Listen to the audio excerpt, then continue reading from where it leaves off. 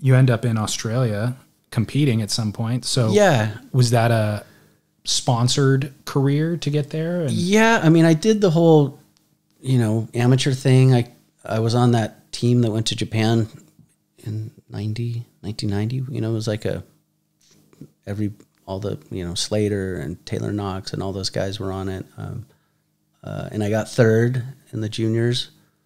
Um, everyone was super young on that team, so I was like one of the weaker ones. So they put me in the juniors. Like Rob could have won that easy or whatever. Oh, okay. Um, and then yeah, and then I all those guys were clearly better than me, but eventually I I turned pro too and tried to tried that and um, yeah, and I I was sponsored by OP and Body Glove and Channel Islands and, and so yeah, I tried a couple years, um, and you know would lose and just have an existential crisis, you know, on the beach. And I didn't understand that it, it would t- it take persistence. Um, I th- I thought if I couldn't do it right away, I just had to give up and try something else. There was a lot of pressure um, on myself, I guess, to figure out what I was going to do with my life at that time. what did your parents want you to do with your life and how do they feel about you pursuing this? they did not want me to be a pro surfer at all. Um, they everyone wanted me to go to college early, and and you know, um, and it's too bad you can't have a bunch of lives like parallel lives and figure out what what that would have looked like. Um, but uh, yeah, and and the surfboard thing. So eventually, I did get a college degree, an English degree, and um, yeah, they don't they don't really care now what I. as long- I don't ask them for money, you know. I was the, the other. also, that English degree was about as lucrative as your pro surf Exactly. career would have been. It was. I enjoyed college. It, it was fun. I took my time. I graduated at like 28. You know, I would do a semester, then I would travel, and then I would. Um, I started working construction at that time um, during college, and then I started shaping um, at the same time. And I remember, um, you know, no one would ever thank me for digging an incredible ditch, you know, like 20, 20 feet of ditch to lay some pipe or something. The homeowner never came out and gave me any credit, you know.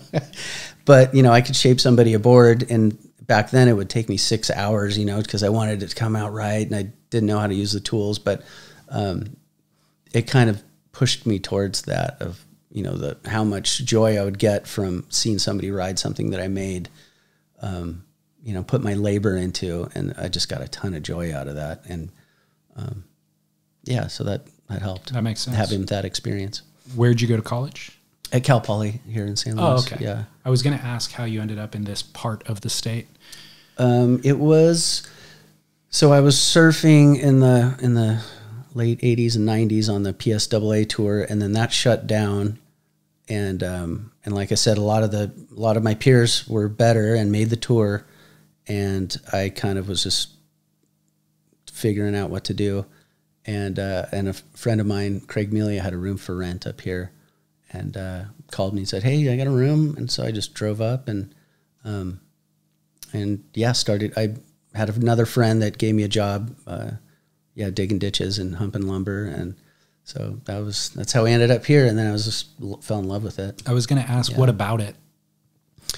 Um, just the wide open spaces you can get to real quick that you can't get where you know where we grew up, and uh, kind of the rougher ocean. Um, how you could be alone in the ocean pretty quick too. Um, yeah, all those things. Just the slower pace. I'm kind of a spaz, so I kind of like environments that are a little bit slower. Like I get too wound up in in Orange County or somewhere like that. Yeah. I don't like it. So, talking about parallel lives, I love that concept. I had never Yeah. thought about if that was Yeah. an opportunity. uh, now you could have, and for the last two decades, let's say, you could have a pro surf career without competing on tour. Mm-hmm. Was that not an option for you back then? And if it Well- was, do you think that would have been a something you would have pursued? Um, I mean, I guess I could have. Donovan was actively doing it right in front of Was our eyes. Um, he he wasn't getting great results, and he was becoming more and more well known. And uh, he's such a funny guy, charismatic, and um, and you know, photographers wanted to hang with him. Everyone wanted to hang with him, you know. And I uh, I kind of had that opportunity. I just it wasn't in my character. Like Flame would call me like, "Where are you? It's it's sunny. There's it's going off," and um, and I'd show up late or whatever. I just like didn't like the, the scene of you know eight guys with one photographer, and again like everyone's competing, and it changed surfing for me to something that was like it wasn't that fun to be a pro surfer in that respect for me. Yeah. I didn't it didn't fit my personality.